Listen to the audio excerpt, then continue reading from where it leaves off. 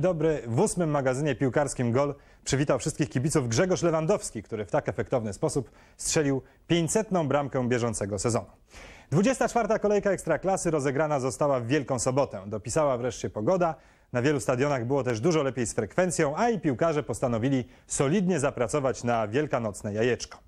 Rozpoczynamy od lidera. Legia wiosną gra bardzo efektywnie, obok wpadki z Wartą. Bilans mistrzów Polski to same zwycięstwa, w tym trzy wyjazdowe.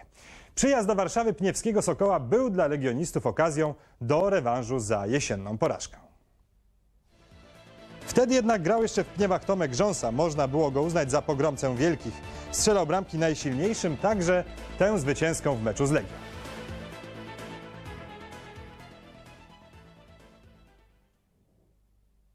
Sokół bez Rząsy spisuje się słabiej i systematycznie spada w tabeli. W Warszawie był chyba kolejną drużyną, która nadzieję na korzystny wynik zostawiła w szatni. Za brak wiary pniewianie ukarani zostali przedwczesnym śmigusem dyngusem.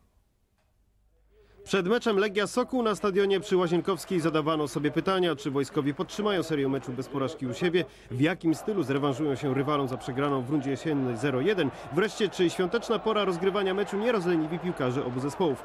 Już pierwsze minuty rozwiały wszelkie wątpliwości. Legia mocno zaatakowała, szybko zdobywając przewagę i piękną bramkę, którą strzelił w siódmej minucie Grzegorz Lewandowski. Ładna była bramka, ale ładniejszą strzeliłem w meczu z w derbach z Hutnikiem Kraków przy stanie 2-0 Szypowskiemu. Myślę, że to chyba była najładniejsza bramka. Ta była druga. Drugi gol padł 10 minut później. George Nechironka sfaulował Marka Jóźwiaka i sędzia Zbigniew Urbańczyk podyktował jedenastką. Nie strzelił pan poprzednio karnego. Czy nie obawiał się pan, że ta sytuacja może się powtórzyć dzisiaj w Warszawie? Mocne nerwy pan ma. Nie, to nie ma się czego obawiać, trzeba próbować, aż się strzeli tego karnego. Tym razem napastnik Legii nie pomylił się i warszawianie objęli prowadzenie 2-0. W 43 minucie po strzale Jacka Bednarza Dariusz Płaczkiewicz zatrzymał poza polem karnym piłkę ręką, za co otrzymał żółtą kartkę zamiast czerwonej, co świadczy chyba o tym, że sędzia Urbańczyk nie zna aktualnego regulaminu. Przed uderzeniem powiedziałem do kolegi, będzie bramka, bo to jego jest pozycja, ustawieni z tej strony. Prezes PZPN nie pomylił się. Rzeczywiście Pisz strzelił kapitalnie w samo okienko i Legia zdobyła trzeciego gola.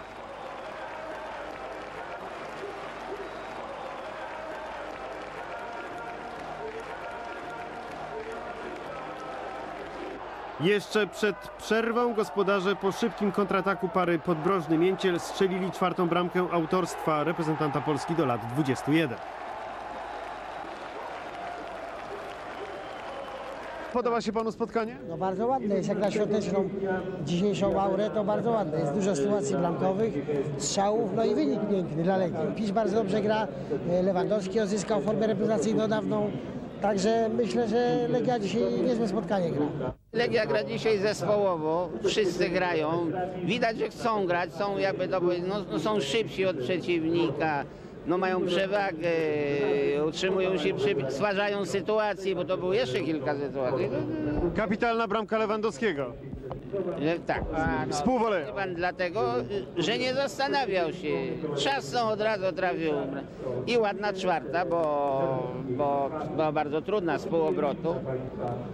Rzut wolny też ładny, bo to na tym. Czyli ekstra mecz. Do przerwy chciałbym, żeby druga połowa tak wyglądała. W drugiej niestety połowie zadowoleni z wysokiego prowadzenia legioniści wyraźnie zwolnili tempo. Goście byli częściej przy piłce, ale wobec dobrze dysponowanego rywala niewiele mogli zdziałać. Dobre widowisko więc kończyło się wraz z gwizdkiem sędziego na przerwę. Legia pewnie wygrała ostatecznie 4-0. Było to 47 nieprzegrane u siebie spotkanie wojskowych i kolejna 12 już wygrana na Łazienkowskiej w tym sezonie. Druga, można to skomentować, że już była świąteczna. Wszyscy czekali, żeby jak najszybciej się mecz zakończył już, żeby myślami byli przy rodzinach. No szkoda, bo mówiliśmy sobie w drugiej połowie, że za trzy dni jest mecz, żeby poszanować siły, ale nie na stojąco, tylko właśnie mieliśmy pograć piłką. No trochę na tym widowisko straciło, ale to już tak powiedziałem, podświadomie zespół już czekał na święta. Przy okazji tego meczu chcielibyśmy zwrócić uwagę na dwie statystyczne ciekawostki dotyczące rekordów naszej ekstraklasy. Legia 12 kolejnych zwycięstw na własnym stadionie. Rekord ligi też należy do Legii, pochodzi z końca lat 60. 17 kolejnych wygranych na własnym boisku. Pięć kolejnych zwycięstw Legii, pięć także kolejnych wygranych Zagłębia, ale pod tym względem najlepszy od 20 lat jest Chorzowski Ruch, 10 kolejnych zwycięstw w lidze.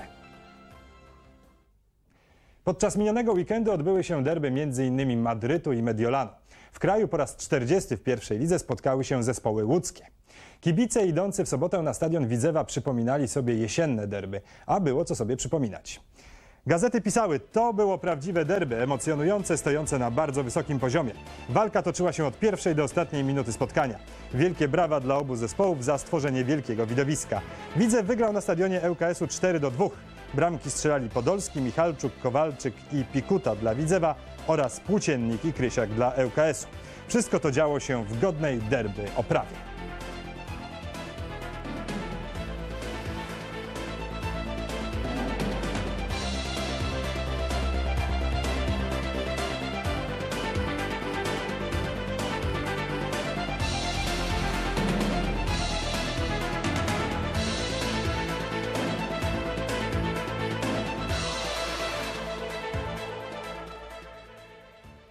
To było jesienią, wiosną cele stały się konkretniejsze, na boisku trudniej zatem o radosny futbol. Dla łódzkich kibiców najważniejsze jest to, że obie drużyny z tego miasta potrzebują punktów w walce o czołowe miejsca ligi. Stąd 12 tysięcy widzów na trybunach i iście derbowa atmosfera na obiekcie przy Alei Piłsudskiego.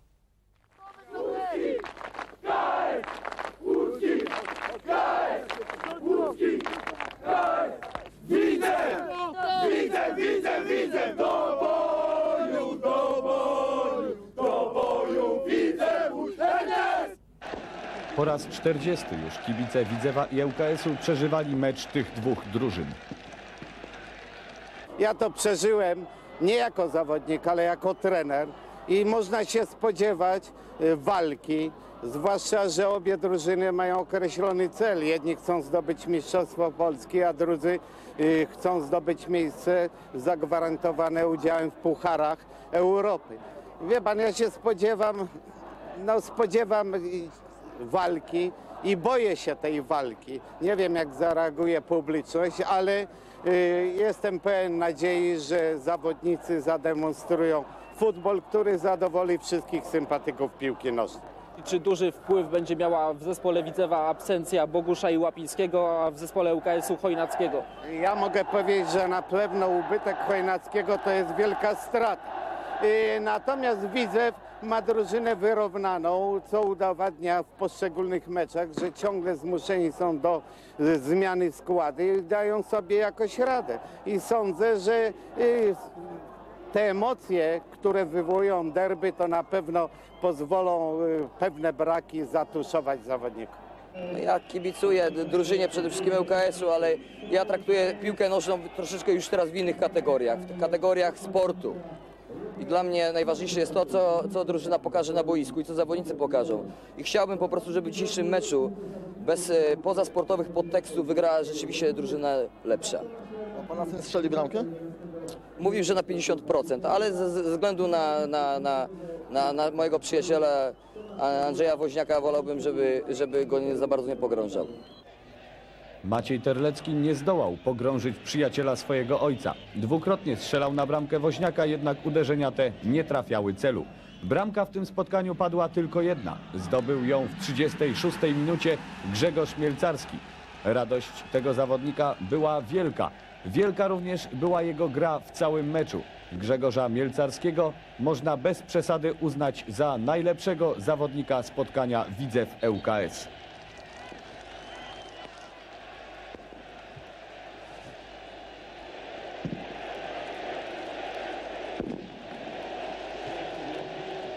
Myślę, że dałem im trochę radości tą jedną bramką, która dała nam dzisiaj zwycięstwo. I muszę podkreślić tylko, że przy takiej publiczności jeszcze w Polsce jeszcze nie grałem. E, Moim zdaniem oni są tutaj najlepsi i na pewno nam pomagają w tym, że, jeszcze, że lepiej gramy. Uważam, że mecz taki był, który jedna i druga y, drużyna mogły wykorzystać po jednej chociaż sytuacji i padłoby na pewno więcej bramek, aczkolwiek uważam, że to nie było złe widowisko. Po raz pierwszy grał pan w łódzkich derby. Jakie to uczucie? Jest, to- jest to coś wspaniałego, akurat podobne barwy ma OKS, tylko od, odwrotnie są kolory końcówki szalika. I jest po prostu wspaniale, jest bardzo czerwono, na, biało-czerwono na stadionie. No jest coś takiego, co się przeżywa prawdopodobnie raz w roku, bo na, na taki mecz chyba kibice podwójnie się mobilizują. Piłkarze ŁKS-u mieli kilka szans na wyrównanie. Najlepszą chyba zmarnował Tomasz Wieszczycki. Wieszycki miał idealną właśnie sytuację na najmocniejszą swoją stronę, czyli właściwie na główkę. No nie wykorzystał, uderzył bezpośrednio w bramkarza. Zresztą Woźniak oprócz tej sytuacji miał jeszcze kilka, a szczególnie przy strzale wolnego, jaki wykonywał Krysiak. Wydawało się, że piłka wpada do bramki, jednak znakomity reprezentacyjny refleks i nie ma bramki. Wygrał, no nie wiem czy lepszy, y, na pewno atut własnego boiska, wyższa pozycja w tabeli, no i w dalszym ciągu walka o mistrzowski tytuł. Chcieliśmy dzisiaj troszkę przeszkodzić, okazuje się nie udało się. Nieszczęści nam się, przegraliśmy tu 1-0, 2-1 za Głębiem, pomimo chyba nie najgorszej gry. Chociaż jeszcze raz oddaję hołd trenerowi Stachurskiemu i życzę Widzewowi no, mistrzostwa Polski. No właśnie, panie trenerze, czy to życzenie jest realne? W tej chwili cały czas Legia was wyprzedza. Czy nie możecie w jakiś sposób zmobilizować zespołu ŁKS-u, żeby w tym środowym meczu pomógł wam w walce o przodownictwo w tabeli? Pomyślimy nad tym, jest to bardzo ciekawa propozycja, natomiast y, w trakcie rozgrywek nie można zmieniać regulaminu, y, y, bo my wygrywamy i chciałoby się wygrywać wszystko do końca.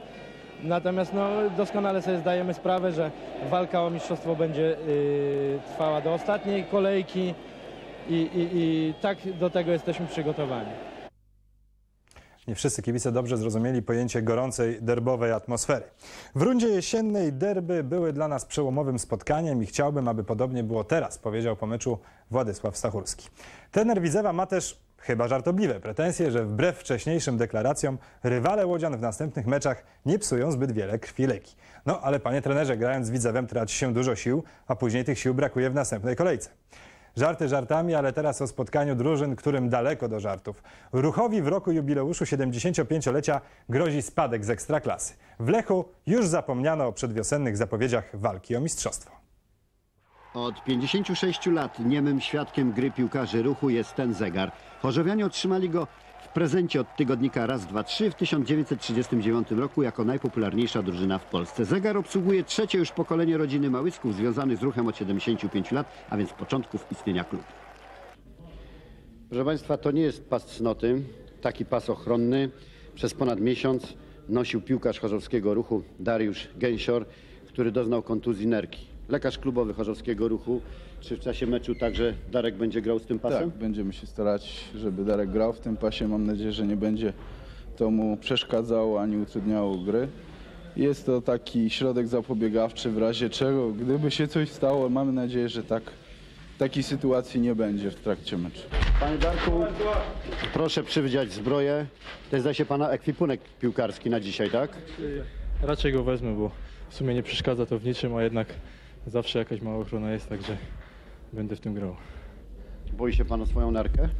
Nie, nie boję się, wychodzę na boisko tak jak przed tym, kiedy nie miałem urazu, także myślę, że, że jeżeli podam fizycznie, to będzie wszystko dobrze. Miał Pan pięciotygodniową przerwę, jest Pan w formie? No ja myślę, że od dwóch i pół tygodnia już trenuję normalnie, nawet więcej niż, niż tutaj koledzy, także zobaczymy. Postaram się wytrzymać cały mecz, a co będzie, to zobaczymy. Dariusz Gęsior wytrzymał do końca spotkania, ale w pierwszej połowie nie padła ani jedna bramka. Seryjnie marnował doskonałe sytuacje Mariusz Śrótwa. Przed tym meczem odbyło się spotkanie Oldboyów Górnika Zabrze i Ruchu Chorzów, wygrane przez Chorzowian 3 do 2, a mecz zgromadził sławy futbolu, które oglądały pojedynek ligowców.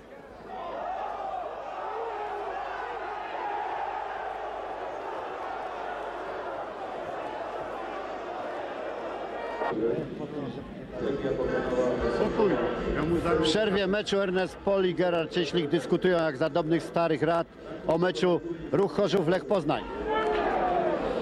Jak dotychczas to pierwsza połowa minęła, ale za mało strzałów według mnie i Ernesta e, było światło bramki. Właściwie ani jednej nie było, ani w jedną, ani w drugą stronę. Byli, byli, byli. A oni strzelają, my nie wiedzą gdzie. Gdzie?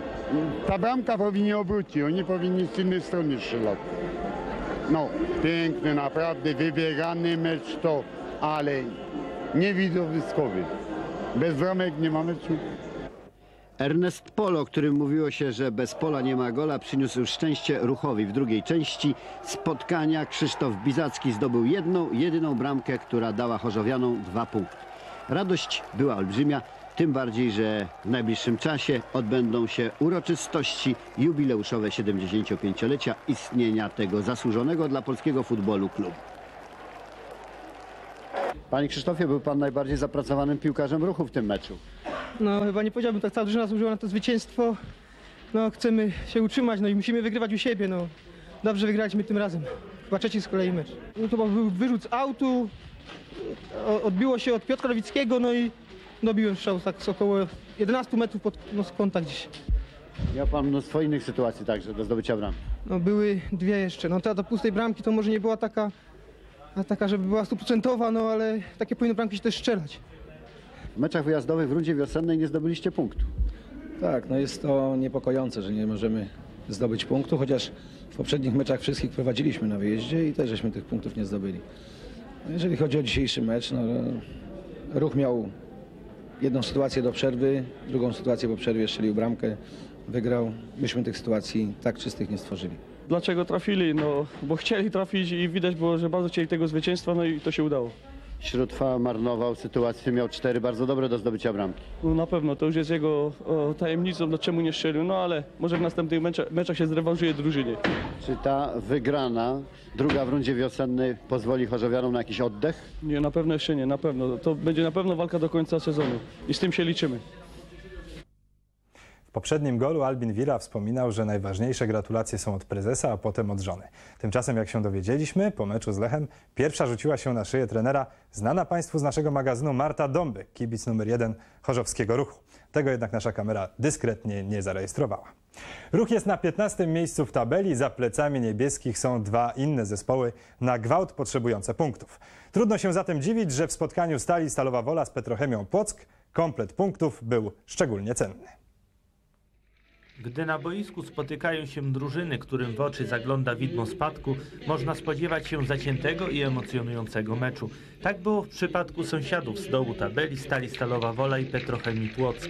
Choć przez 90 minut biegano w błotnistej mazi, a ciepłe wiosenne słońce nie zachęcało do wysiłku, obie drużyny stworzyły interesujące widowisko.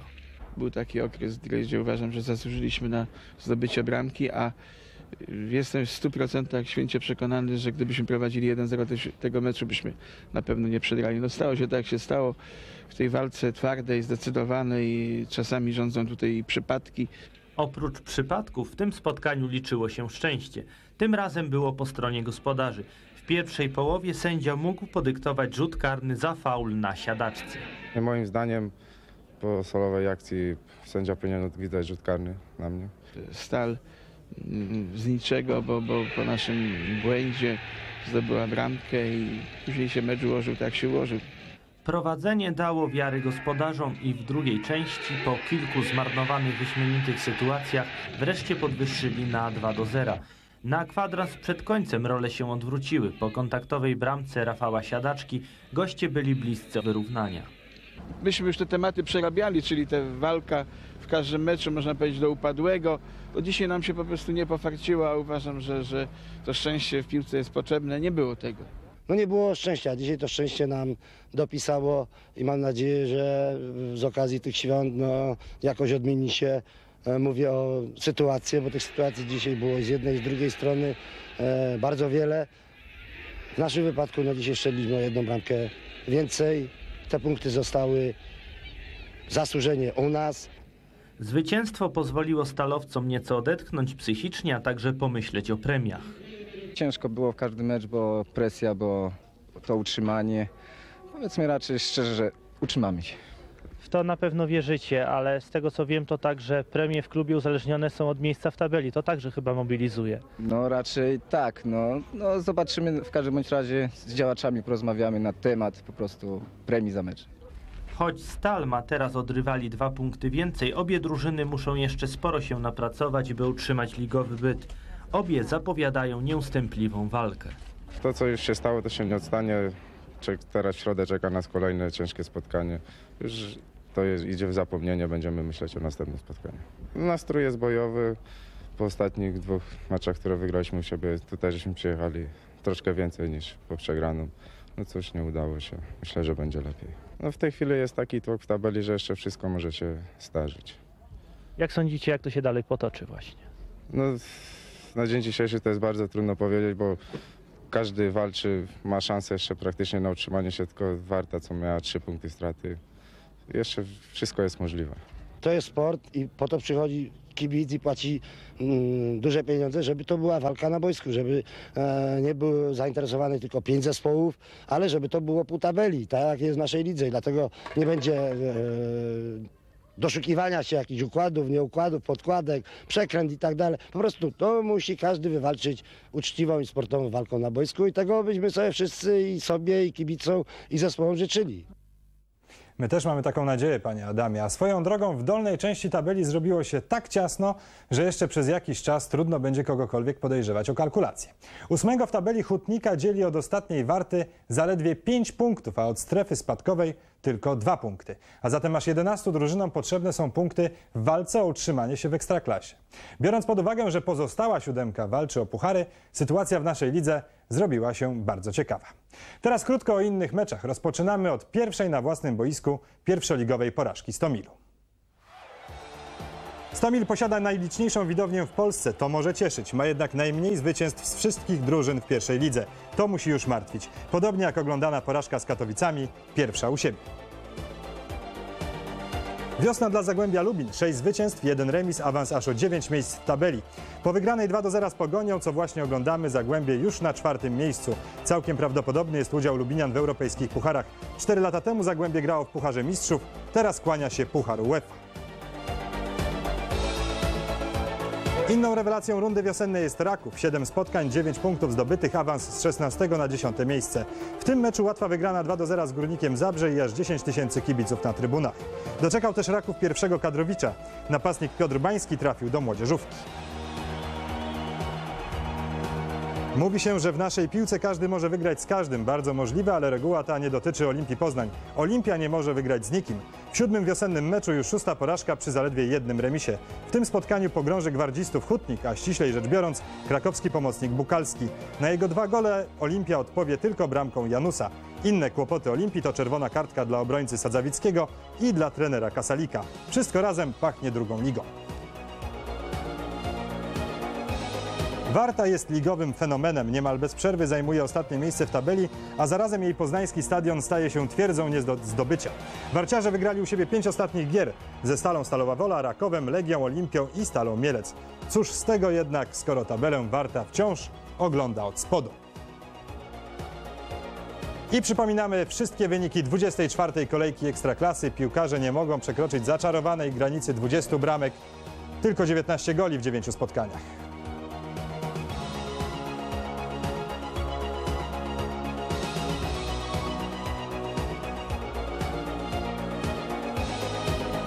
W tabeli bez zmian na pierwszych trzech pozycjach awans na czwarte miejsce Zagłębia Lubin spadają Górnik i Lech oraz Pogoń.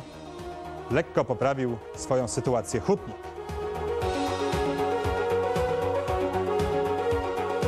Dolna część tabeli to o czym wspominaliśmy bardzo ciasno. Przetasowania kosmetyczne, bowiem różnice punktowe są minimalne.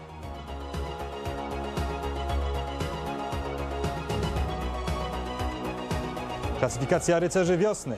Zagłębie Lubin zgromadziło w siedmiu meczach 13 punktów. Wspaniała pasa. Niewiele gorsza jest Legia. Na kolejnych miejscach Widzew i nieoczekiwanie Raków. Celnym strzałem z rzutu karnego Jerzy Podbrożny umocnił się na pierwszym miejscu w klasyfikacji strzelców. 12 goli napastnika Legii. Na drugie miejsce obok Dębińskiego awansował Bukalski. To efekt dwóch goli strzelonych Olimpii. Klasyfikacja Fair Play o puchar ufundowany przez Snickers. Na pierwszym miejscu egzekwo Legia i Ruch.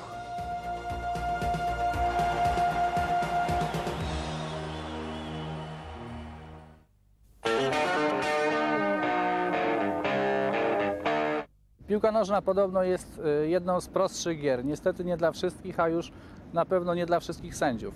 Od paru lat funkcjonują przepisy o tak zwanych faulach profesjonalnych. Między innymi takie, że jeśli bramkarz sfauluje poza własnym polem karnym przeciwnika lub odbije piłkę rękoma, powinien zostać natychmiast wyrzucony z boiska. Czy te przepisy światowe funkcjonują również w Polsce? Tu można mieć wątpliwości. Przykładem niech będzie mecz z ostatniej kolejki między Legią i Sokołem. Przed przerwą bramkarz gości Płaczkiewicz odbija piłkę rękoma. Sędzia Urbańczyk z Krakowa pokazuje mu tylko żółtą kartkę. Myślę, że wielka szkoda, że pan Urbańczyk pokazuje kartki piłkarzom, a nie pokazuje tych żółtych kartek sobie za karygodną nieznajomość przepisów. I jeszcze jedno. Sędzia Zbigniew Urbańczyk na co dzień pracuje w Hutniku Kraków. Sędziuje, pracuje w tygodniu, w weekendy sędziuje mecze rywalom krakowskiej drużyny. Myślę, że to też jest faul profesjonalny i też zasługuje nie na żółtą kartkę, tylko na czerwoną. Świątecznej atmosferze chcieliśmy uniknąć wręczania kartek, ale nie udało się. Proszę Państwa, w Europie funkcjonuje 48 lig krajowych. Polska należy do mniejszości, gdzie zwycięstwo nagradzane jest jeszcze tylko dwoma punktami. W aż 31 krajach za wygraną w spotkaniu mistrzowskim przyznaje się 3 punkty. Dotyczy to m.in. wszystkich lig rywalizujących systemem wiosna-jesień, które niedawno wystartowały. Międzynarodowa Federacja Piłkarska postanowiła, że nowy regulamin premiowania musi najpóźniej w tym roku zacząć obowiązywać we wszelkich rozgrywkach o punkty. Zarówno więc w ligach krajowych, jak i na przykład w Europejskiej Lidze Mistrzów czy w grupowej fazie finałów Mistrzostw Europy. Oznacza to, że od następnego sezonu również i w Polsce zwycięska drużyna będzie otrzymywała 3 punkty. W tej sytuacji mecze sąsiadujących ze sobą w tabeli drużyn, nazywane dotychczas meczami o 4 punkty, staną się meczami o 6 punktów. Co to dokładnie oznacza, najlepiej ilustruje przykład niedawnego spotkania praskich drużyn Slawii i Sparty. W Czechach już teraz obowiązuje omawiana nowinka regulaminowa, a przed nadwłtawskim derby Slavia otwierała tabelę z 45 punktami. Zajmująca drugie miejsce Sparta miała 40 punktów. W przypadku zwycięstwa Slawii dystans powiększyłby się więc do 8 punktów. Wygrała jednak Sparta, w konsekwencji czego przewaga Slawii zmalała do zaledwie dwóch punktów. Dwa punkty straty, a mogło być 8, czyli aż o 6 więcej. Dlatego właśnie był to mecz o 6 punktów. A tak wyglądałaby tabela ekstraklasy, jeśli za zwycięstwo drużyna otrzymywałaby 3 punkty. W górnej części zmiany są nieznaczne. To, że warto wygrywać mecze, odzwierciedla dolna część tabeli.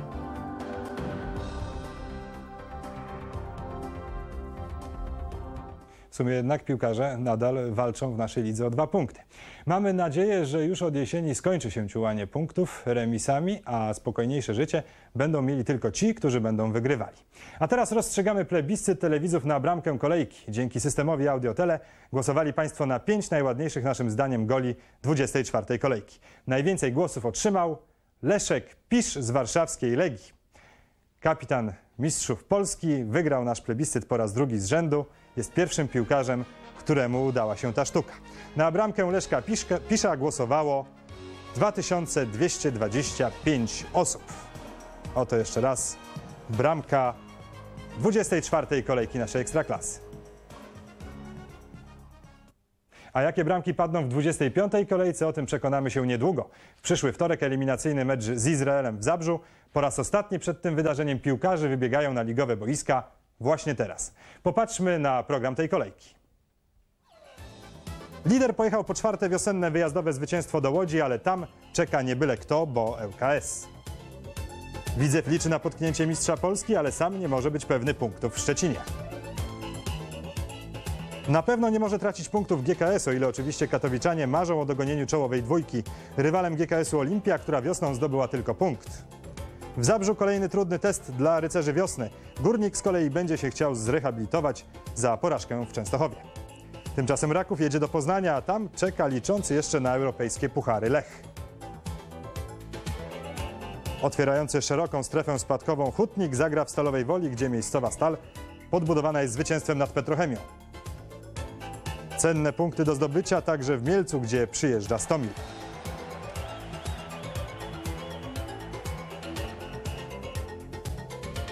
Na pozostałych boiskach też walka o wszystko. Zwycięzcy meczów Sokół Warta i Petrochemia Ruch będą się cieszyli podwójnie.